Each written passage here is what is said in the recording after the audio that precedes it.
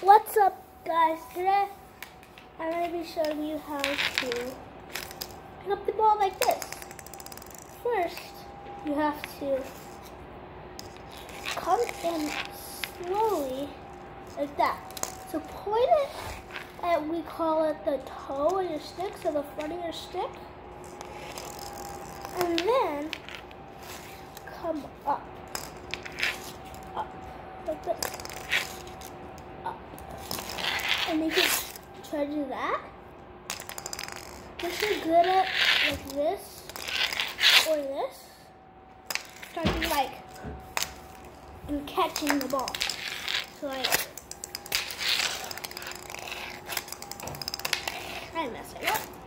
This and then catch.